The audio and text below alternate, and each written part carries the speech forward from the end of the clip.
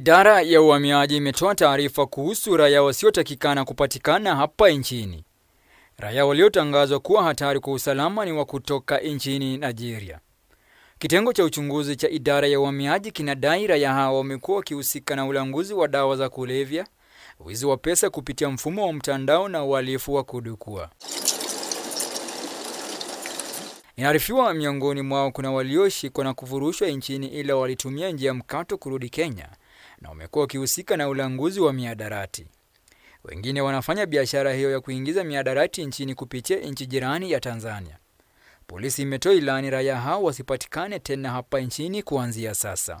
Wahusika hao ni Prince Chuku Ebuka, Ajibade Adewale, Olayiwola Babatunde Akintomiwa na Mwachuku Steven Chigozie. Franklin Wala, K24 saa moja.